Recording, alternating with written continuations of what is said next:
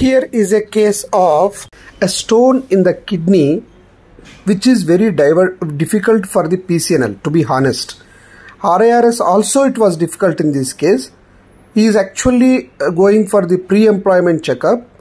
Just 5.9 mm is the size measured in the CT but he wanted to get it removed. See, this is the CT, this is the posterior wall and it, it looks very small.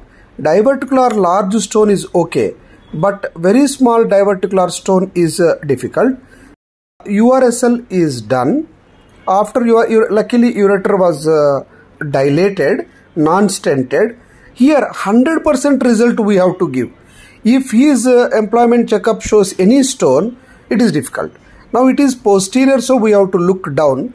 Identifying the opening is very difficult when the stone is very small.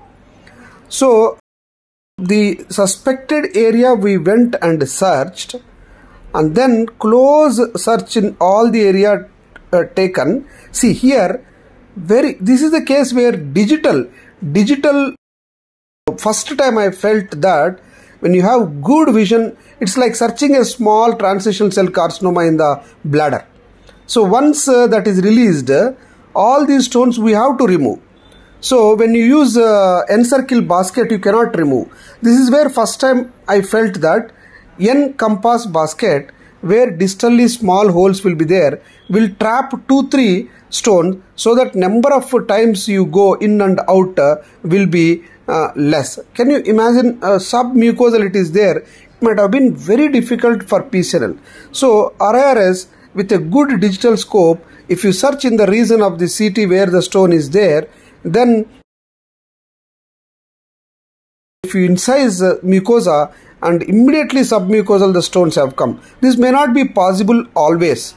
See, this is the coagulum, uh, coagulum making all these stones together and that makes uh, removal of these stones uh, better.